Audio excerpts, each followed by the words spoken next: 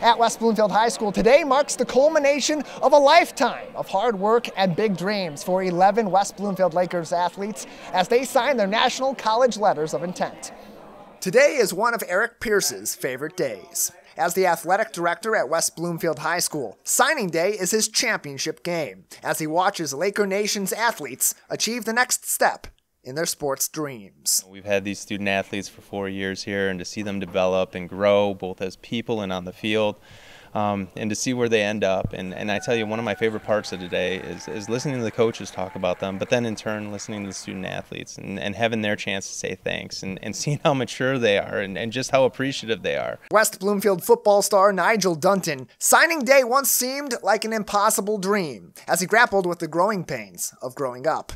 On this signing day, Dunton says achieving his dream of signing his letter of intent to Central State University made him grateful for the journey and for the people who helped him along the way. It's a blessing, man. Like my whole entire life, like I'd have been through a lot of ups and downs, you know, where I'm from, you know what I'm saying? I see I was crying up there, you know, because it, it, hit home for me for real. Total West Bloomfield athletes across four different sports signed their letters of intent on this day. However, volleyball coach Liz Ferguson, whose team had three players sign their letters of intent, said the West Bloomfield athletics community is one big team, evident by the massive gathering of student athletes who came to show their support for their fellow Lakers. I had a lot of athletes I never met before. They're like, "Hey, coach! Hey, Coach Liz! How's volleyball? We're going to be at the game tonight." And like, it was truly astounding to see the pride that they had and the students that came out, not even just for the football games, but for the volleyball games as well. We we felt that same pride and spirit. Perhaps this is what helped West Bloomfield grow into a powerhouse in a number of sports, excelling in football, volleyball,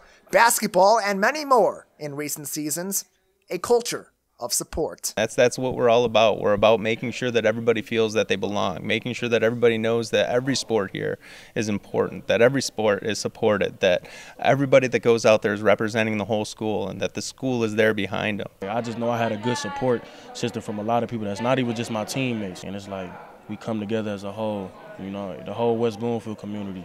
Now for these 11 Laker athletes, a new journey begins as they once again pursue making Laker Nation forever proud.